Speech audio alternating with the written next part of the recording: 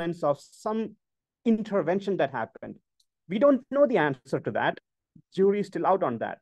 But the reason I'm telling you all this is we are at a point in time, like some super species gave us intelligence or language, or we are at a time in the in the evolution of human history that we ourselves are creating subspecies to which we can tell things like create me a selfie picture of abraham lincoln with his friends and it generates this beautiful picture right so if you think about it machines are just metal bare metal so we ourselves are creating some sort of a little bit of intelligence into these machines so that is the goal of today's lecture and the whole lecture series.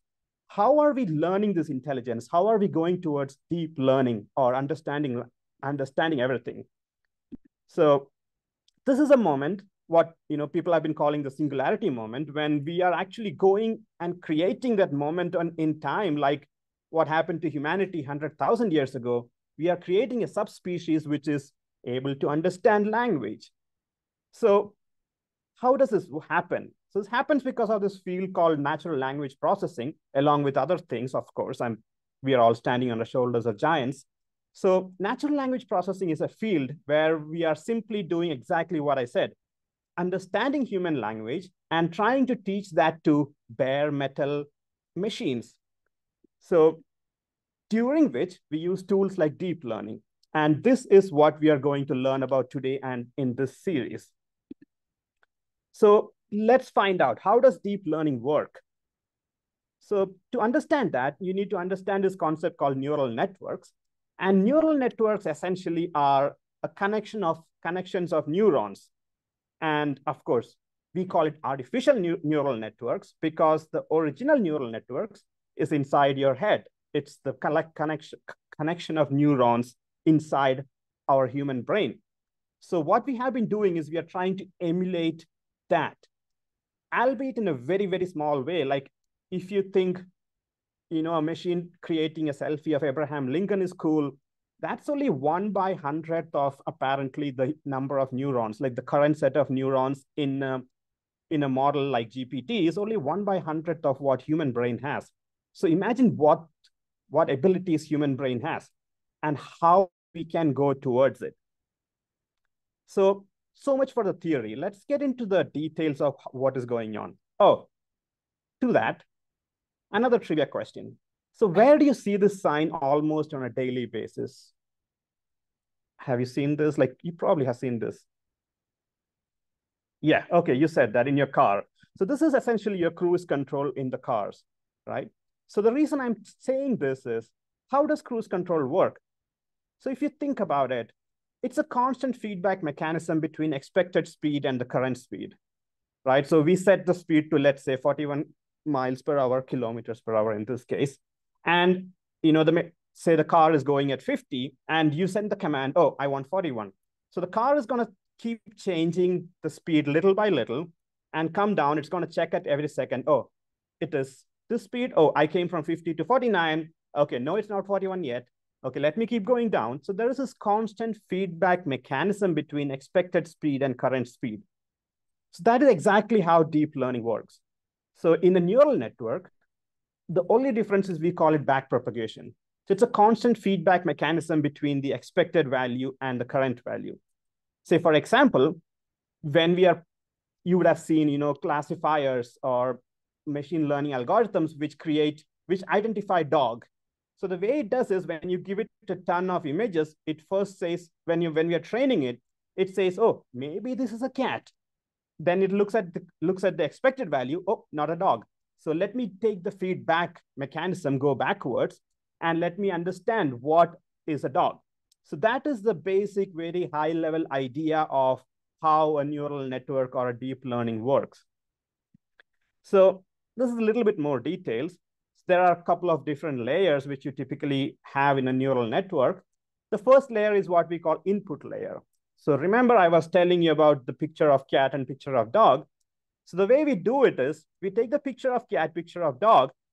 Right now, for example, you know, things like uh, GPT, the way it works is on one side, it takes the picture of dog and cat. And on the other side, it takes the word dog and cat, understands it together, puts them together in something what we know as embeddings. And then it's just, it's just numbers at that point, just vectors. And those vectors go through this bunch of neurons, really just, you know, deep connected neurons created out of software uh, components. And just trying to emulate the human brain. And all it does is takes that knowledge, sends it out into the output layer, and it says, oh, let me predict if it's a cat or dog from whatever I learned. And we have a gold label, which is essentially saying, oh, in reality, it's a dog. So then it just back propagates into this whole feedback loop. And this goes on for millions of cycles. And it keeps doing that until it finds a nice understanding pattern. So here, the only difference is, so this technology, you know, this was invented in the 1960s. And the only reason this is becoming so famous in the last one decade is the advancement in technology. Like we now have a lot of hardware, which is able to do this huge amount of learning and back propagation. And the way the current large language models work is instead of having one input like cat or dog, all it does is let's take the entire internet and just dump it straight onto this huge mechanism known as, let's say, GPT, right? It's a huge collection of all these uh, bunch of neurons put together. And there's an entire, you know, people have entire life and career spent on what is the best way of connecting the neurons so that it understands the knowledge. But once it does that, ta-da, you have a large language model. So this is like a very eagle eye view of what or how a deep learning works. So sure, we are going to get into all those, you know, uh, deeper trenches kind of details. Uh, so the whole idea, like I said, is to discover hidden patterns in data. So if you think about it, a lot of things in the world, this is almost like we are being gener we are generating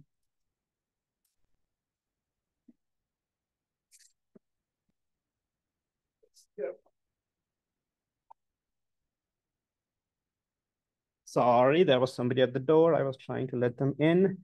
Yeah, so if you think about it, a lot of these things in life, there are so many hidden patterns we maybe subconsciously understand it, but not so much consciously.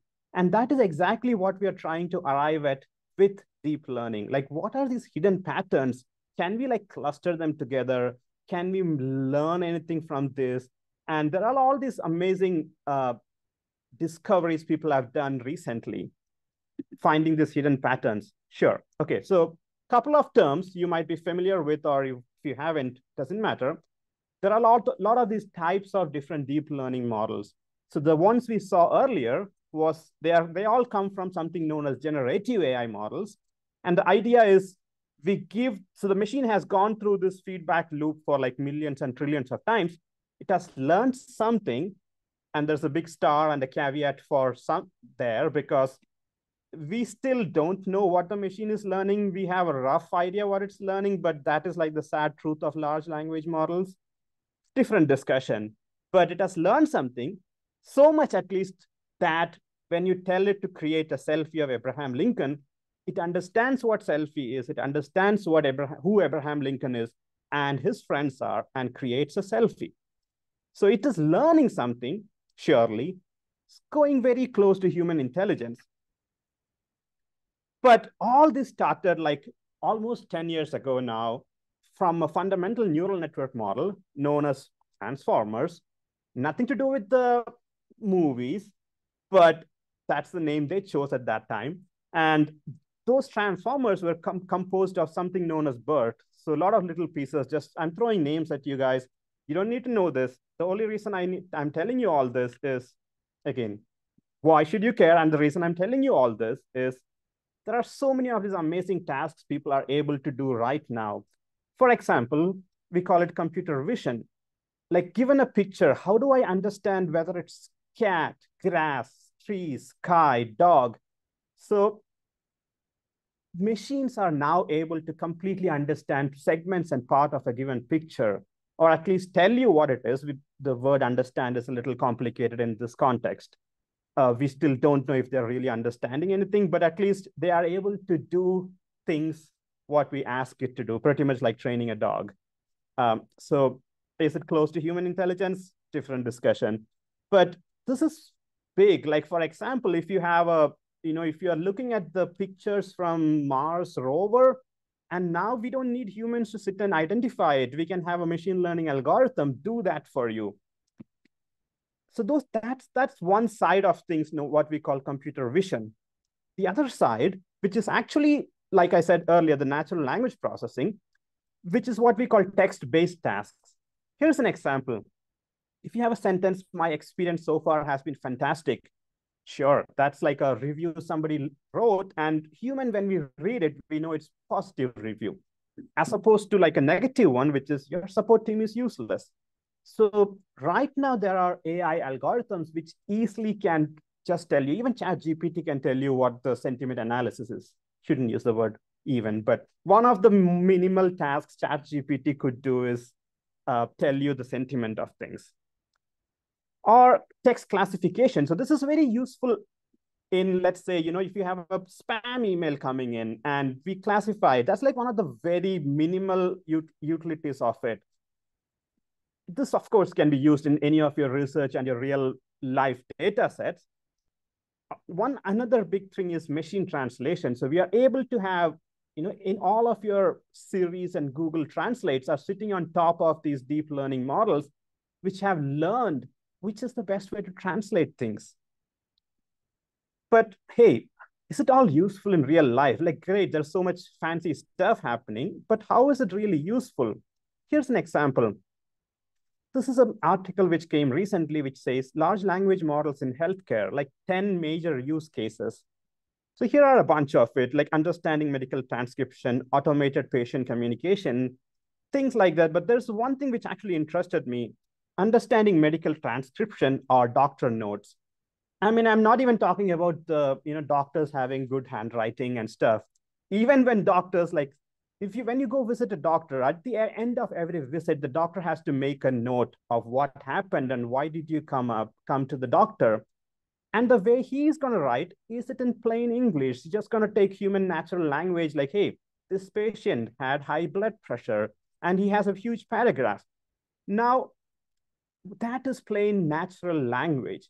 How do you tell an ai what it is right? How does it mean? How do you how do you make sense out of it and this is a big field in itself. Like people are making millions of money because right now we have AI models which completely understands what a doctor wrote about the patient and goes to five, which is automated patient communication. So when the patient calls in next time, the AI replies back saying, hey, welcome, we met you last week. And this is very helpful, especially if you, you know, you have something going on, you cannot get, you want to meet a doctor, but really there is no appointment available until you know end of your lifetime before end of your lifetime. So now we meet a telehealth and you tell the telehealth assistant okay again an ai agent and the agent is going going through your communi- uh, through your symptoms and will tell you oh yeah you really need to go to urgent care. You really need to go to emergency room and things like that. So everything everything here is very very realistic. So coming back to the main reason why you guys are here, so much for the spiel and the shameless plug, but how accessible are these AI models? Like it's really useless for if they are just sitting out there. We cannot learn anything about them except use them like ChatGPT, right? The short answer is right now, as of today and now, it's right on your fingertips. And that's what we are going to learn today. Again, welcome to the talk today on Introduction to Hugging Face apart from being an amazing emoji, Hugging Face is an amazing company, corporate, or a collection of conglomerates, uh, whatever it is. But it has brought all these AI models straight into your fingertips. So if you go to https huggingface.co, or you can just Google it, Hugging Face, it'll have all the great, all of these models, including GPT, is just right there accessible. So yes, let's get our hands dirty. Uh, if you guys have a laptop, can you go to this link here? So this is github.com slash UA data lab. I'm gonna try opening it in my own machine here.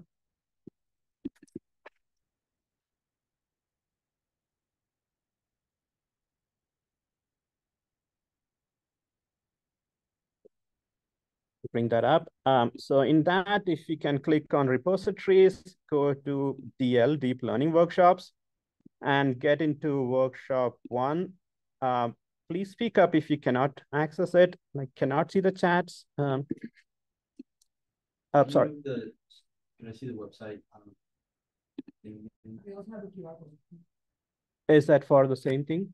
Yes. Oh, so perfect, perfect. And it, it has links to your. Beautiful. Um, okay, which one did you want, the, the code, the, The one Like- behind. Yeah, we could just move that window down. oh, yeah, sorry, um, same thing. Oops, sorry, sorry, sorry. Just same thing, just UA dash data lab.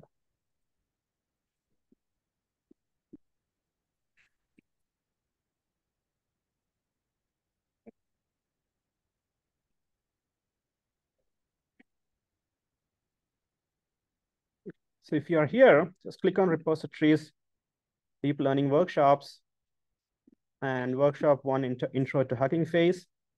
And if you can open intro to Hugging Face.ipython notebook.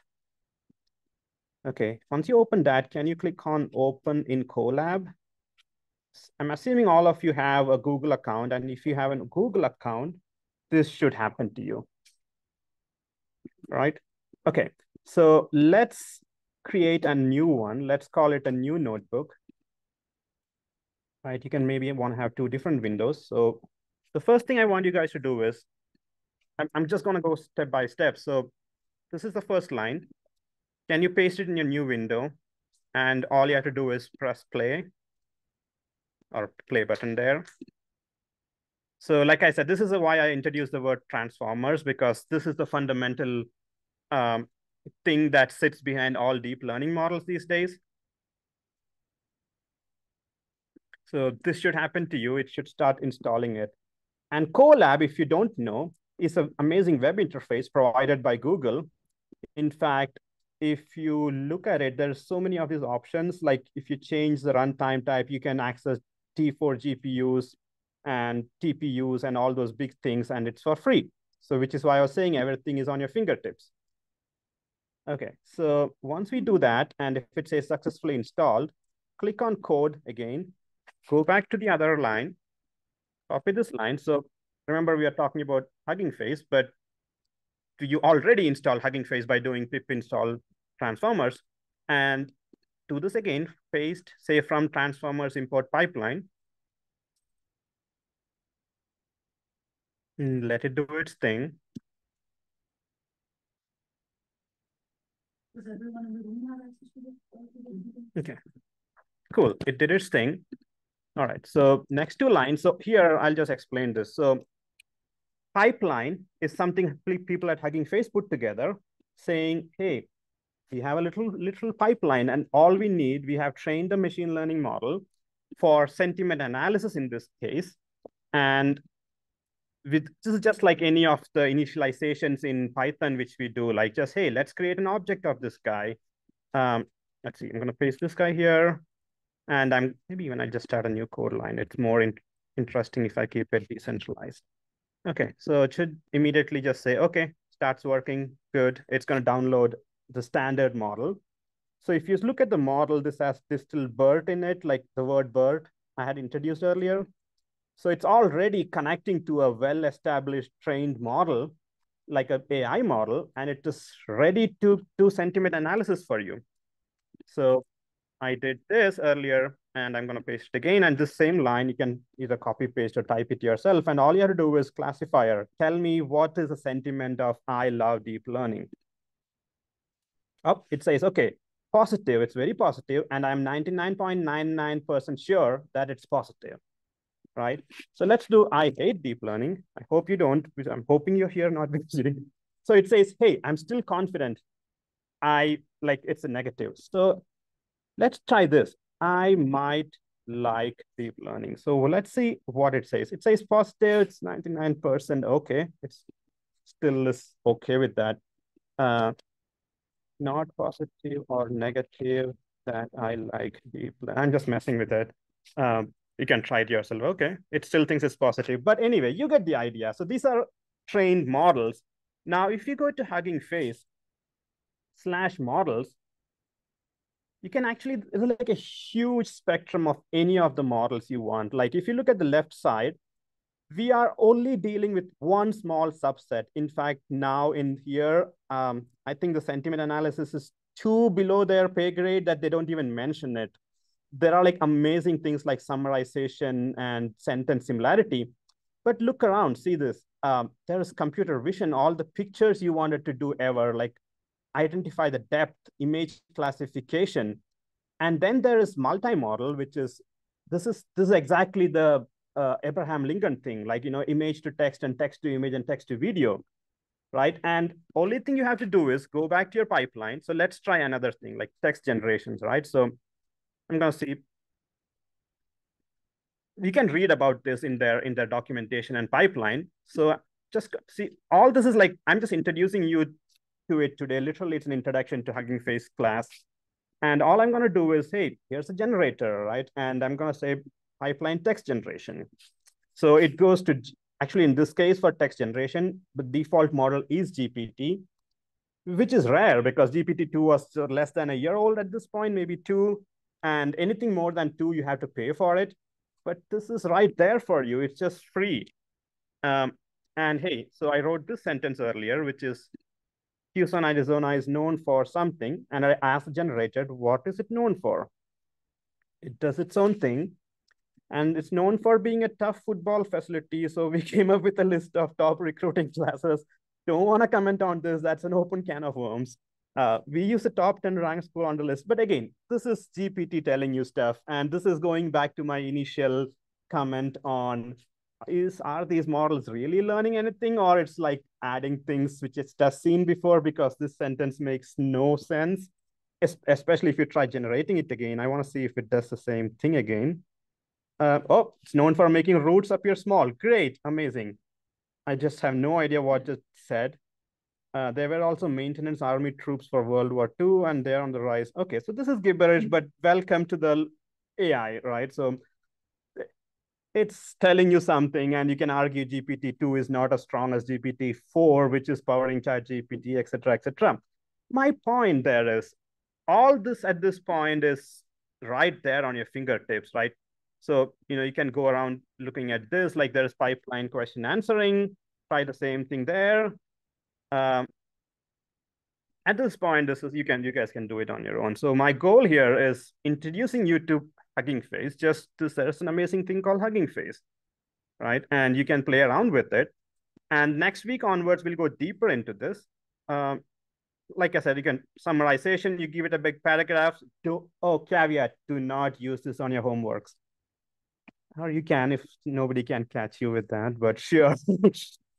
but yeah, at this point, there was this recent news article where, you know, there was a paper published in Nature, except somebody found out that the paper had one line regenerate response. So the big well-known paper in a big news, in a big paper, big, you know, rank one research paper, research journal in the world, papers published, and there was one line, regenerate response, which if you remember, is what ChatGPT says when you ask it a question, hey, write me a paragraph on American dramatically change. It apparently somebody just wrote the whole damn paper using ChatGPT and forgot to remove the regenerate response when it was copy pasting. And this is, so I'm teaching you all the dark arts, but don't use it at your own risk. Uh,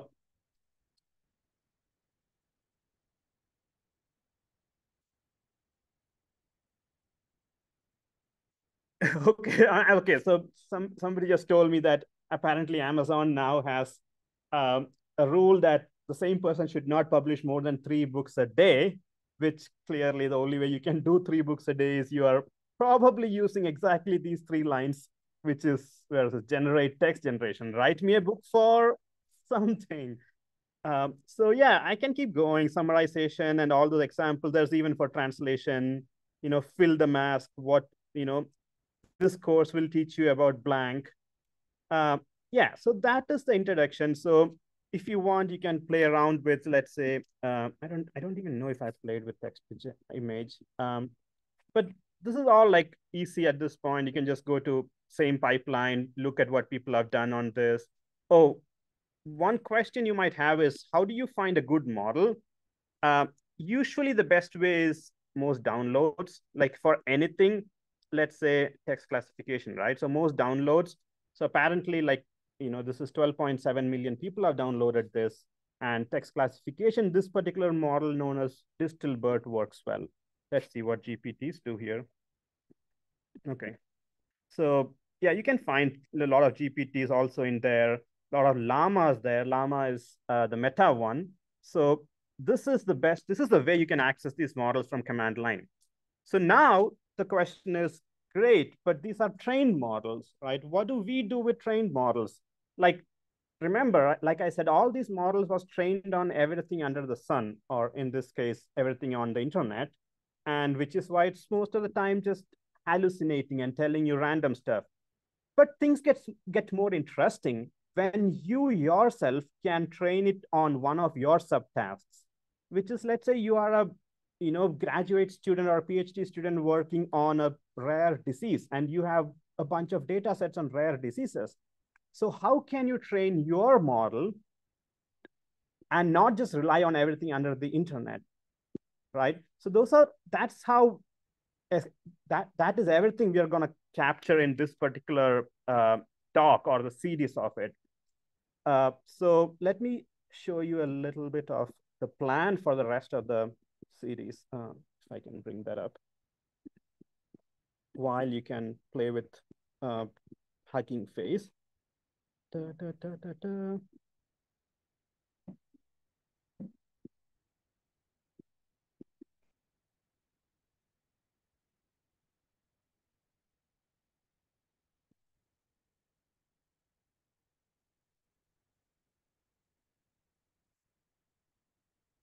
Okay, so this is the rough outline of what I planned for. The first is like intro to Hugging Face. This, this should be here, but I'm going to teach you how to use this like transformers and train it, like using these models next class. This is all going to move up. Um, and then remember, I was telling you how to train. And the one I was telling you about rare diseases is fine tuning. It's known as fine tuning a pre-trained model. And then so essentially you're saying this model is already trained on the internet data, but I'm going to make it so it probably never saw all the rare disease data because it's rare and you are the only one who has that data. So this is the, then what we do something known as fine tuning. Now there is a big question mark of, you know, why do these machine learning models need so much amount of data? It really needs like internet level data to learn something. Um, so there is all this research going on on how can we train the models only on the small, let's say you have 100 data points of rare diseases, you know, somebody's symptoms for rare diseases. So that's what we learn in training a model from scratch. Like, how can you start learning by training, like training it, train the whole model all by yourself? Then we'll actually go to something known as data Databricks, SageMaker. So SageMaker is essentially everything what you saw there, but in, in Hugging Face, but instead it runs on AWS, which is the Amazon Web Service. So remember I was telling you Colab lets you do all this, you know, you can pick all the TPU, GPU and all, but you know, it's gonna it's gonna come bite you pretty soon because as the size of your data increases, the free tiers are not gonna satisfy for for the you know amount of training you want to do. So which is why I'll introduce you to the Amazon Web Service. And a uh, lot of it is pretty free and you can start running code in there. And also I would point you guys to something we have developed in, in University of Arizona known as CyVerse. So this is a very huge beast in itself. It, it's pretty much similar to your high performance computing, but way beyond that, it has like AWS, but a lot of you know click and play kind of things. So we'll see, we'll go through all this in terms of how we can train the language models um, and things like that. Okay, so let's see if I have anything else now. Intro to Hugging Face. So I'm probably going to just skip all this. You guys can. I, this is all shared on the on the UA Dash Data Lab GitHub uh, page you saw. You can try playing it yourself, playing with it yourself. Okay, thank you, English. Uh, let's see. So you got this. Um, Where's my UA data lab?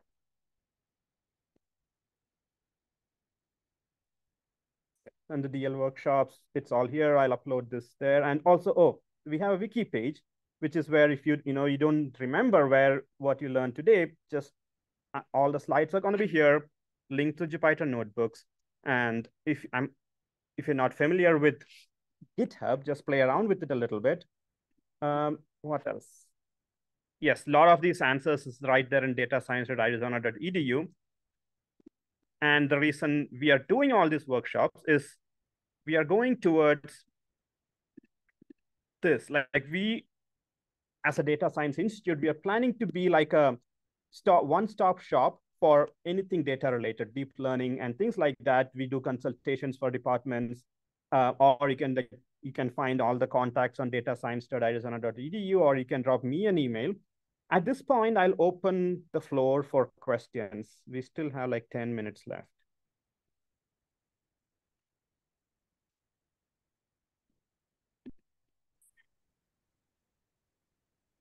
You have any questions here or online? Yeah, go ahead. When, when you're talking about at the beginning of the slides, how like it learns, so it takes the input and then it does a lot of processes, goes back, and it just goes bounces back and forth, back and forth a ton of times. Mhm. And what is like the condition where it stops bouncing back and forth? Yeah, so this is a that's a very good question. And the question for people online is the question from the class was, you know, this machine is the machine learning neural network is gonna go back and forth multiple times.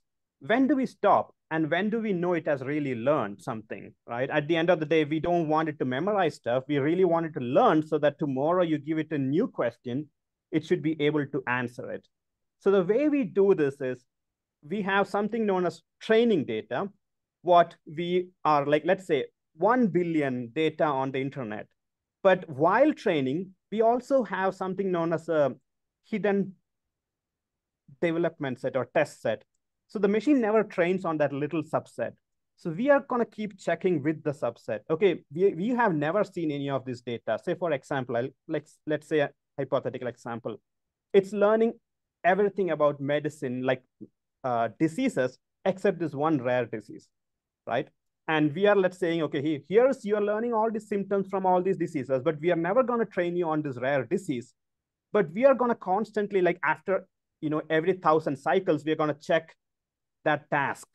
Like the task could be, hey, what is the symptoms for this rare disease? So we check with the, the hidden set, the hidden 100 data points, and we ask, oh, is this symptom what the machine predicted? Is that correct? So this is not just training alone, but we are constantly checking with the set which it has not seen during training. So, and that is the accuracy we are going to keep monitoring. Once that accuracy comes to pretty good level, we stop. It's like, okay, it has learned something and it is able to predict things from an unknown data set. So that's like a very abstract level answer to your question. Uh, but we will get into the deep things in the rest of the workshop. Go ahead.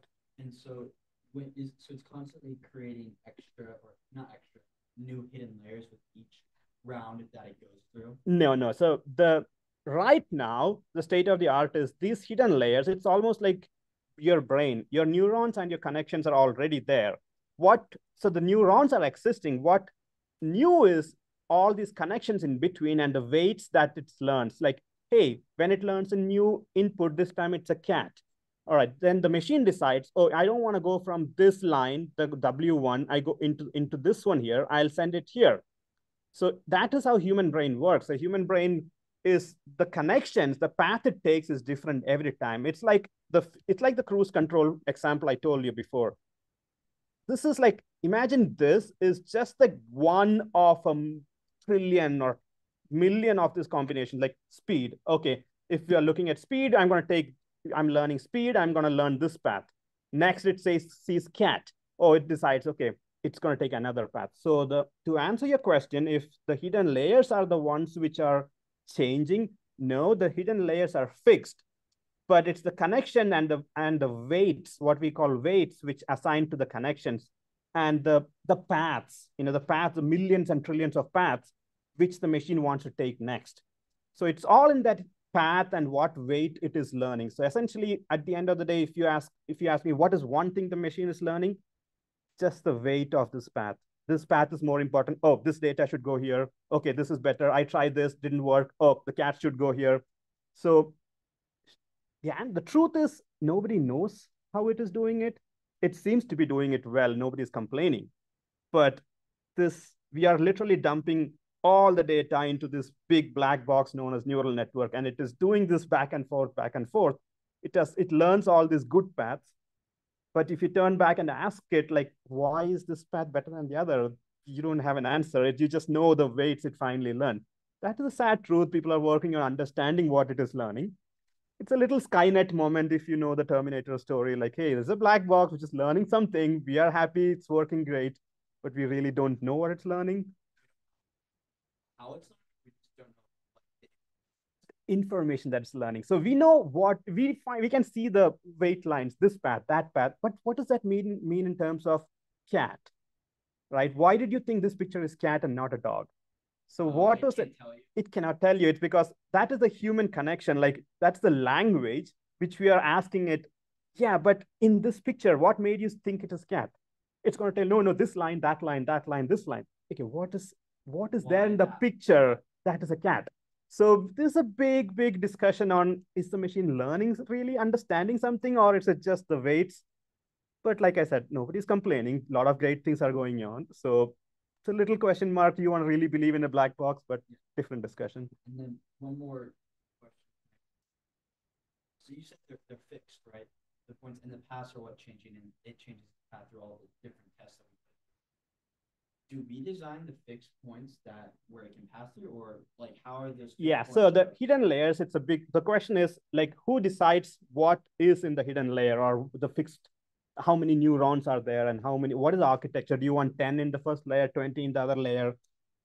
People, the truth is trial and error. Right now, like all these big companies, Google's and OpenAI, they just have this huge amount of resources. They just try, let's say, take a million layer in the million neurons in the first layer, 2 trillion in the second, and let's train it and see what happens. Oh, didn't work. So then they have this, what we call architectures, literally like mixing and matching all these architectures. And finally they say, oh, we should, trial and error. This architecture looks good. We call it encoder, decoder. We'll get into it in, a, in the next class. But again, the same thing works. Nobody's complaining, but it's literally engineering at that point and not science. So it's a thin layer.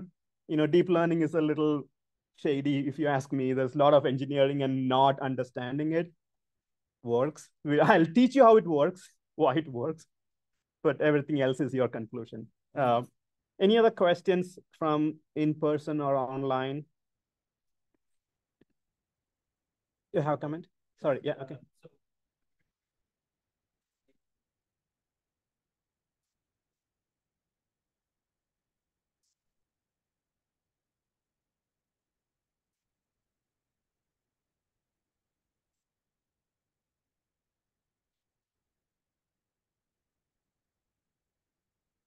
Yeah, so the comment from the audience was essentially what it what the model does is it is learning the probability of next word. And this is the perfect example. Like remember, we saw that example when we were trying to ask it to do something and it created some random, I, I cannot even find that. We said, you know, Tucson, what is Tucson known for? It just told you last time I saw the word Tucson, this there it was right next to the word army. So I'm gonna put the word army back to you and tell it back to you. So this is all like it's a little shady, but for things that works, it works. So yeah, it, it's little, it's literally learning which word is next, right? It has seen what word is next, and is it really understanding with it? Like I said, don't know. Jury's out on that. Yeah, sorry, I cannot see the Zoom chat. I'm sorry. I'm just gonna do it now. Um, okay, so there are there others. Uh, okay, Tucson is known for marijuana, but which was question? I have a beginner question. When trying to use lines like generator equals pipeline text generation, I get the notice no model was supplies. Yeah, this seems to continue fine in Google Colab, but it doesn't seem to work when I do this in PyCharm. Um, okay, PyCharm is a different beast. I don't want to go into PyCharm at this point because Colab does a lot of these abstractions for you, and um, it is calling it directly from Hugging Face. I suggest you stick to Colab I can go try it on my PyCharm and let you know how that happens. uh, Colab is like a good starting place at this point. Um, I, other question is, I installed the ones from this lesson. Is there some specific needed library outside this lesson? Uh, we will get to it. I At this point, I will tell you just play around with the libraries. And like I said, if you if you, if your question is what is a good library to use, just uh, pick the one which has more downloads. Like I said, you know, the models which has more downloads. It's more like a peer review kind of thing. We, you know, you want to do this task. So search sort by most downloads, right? So um, we are going to stick to natural language processing for a bit because one thing I need to mention at this point is all these models. So the history is that we had people working on computer vision, which is identifying images, audio, video, everything. But with this in the last five years, the natural language processing went so far ahead that all these other guys are now like relying on what is the meaning of cat as a text, right? So then they're mapping, oh, cat is a text. Let's learn, let's take whatever GPT has learned about cat in terms of the weights we talked about earlier and just create a new mapping. This picture of cat is connected to that picture of the knowledge of the meaning of cat. So, which is why most of our workshop will be focusing on the language part of it because the rest is actually easy. The rest is just that mapping between cat and the meaning of cat. But learning the meaning of cat in all these tasks is what we are going to learn. Okay, I let me see if there's any other questions. Um, I don't know if I, okay. Yeah, I don't think there's any more questions there. Uh, okay, cool. Uh, all right, guys, thank you. Um, like I said, just visit all these websites and drop me an email if you, um, if I can find the link back up there. Okay, drop me an email uh, or go to data science.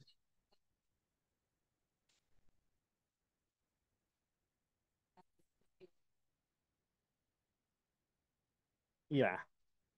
This will happen same day, same same place, same time next week.